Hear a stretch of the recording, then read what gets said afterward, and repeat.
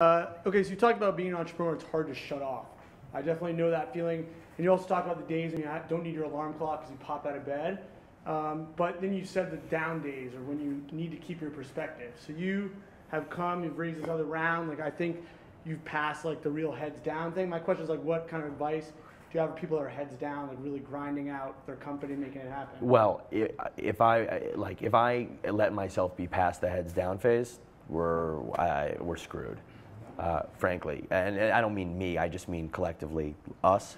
Like if we think that we've won or we get comfortable, the speed that business is moving is too fast now. I mean, read Pando, like it can give me a heart attack.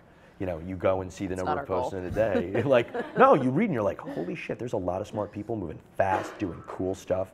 You have to keep up and you can't just you, you, can't just keep doing what you're doing. You always have to strive for more. And so like we're not past the heads down phase. Um, I think that there have been times where I've let myself look around and it's been it hasn't been good for the business. I think we do need to stay super focused.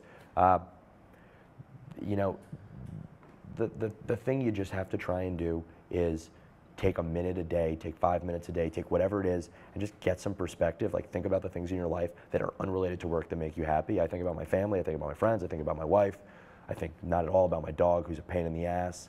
Uh, I think about my new son. I think about. we're really bringing this one. We're really killing this joke. Uh, I, I think about.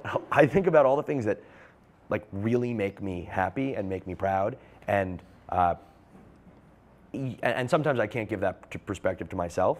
I mean, you know, I, I call my dad, and he, you know, talks me off whatever, you know, ledge I'm on or whatever, you know, like, uh, and and that's my, my, wife and my like those are the people who like keep me in line. And when, by the way, it's it's just as dangerous to lose your perspective, to, to need that perspective on the good days, not only on the bad days. On the bad days, you you know, it's good because like you you get cheered up. On the good days, there are days where we're flying high, running around like we are on top of the world, and you, if you let yourself go too high, you risk letting yourself go too low, and you really have to try to stay even keeled um, through this whole thing. And that's that's like the the, the entrepreneur struggle, and it's what you're dealing with. Yeah, I always tell our with. team like we can't believe any of the if we don't want to believe all the like dickhead commenters, like we can't believe all the people saying we're amazing yep, either. hundred percent.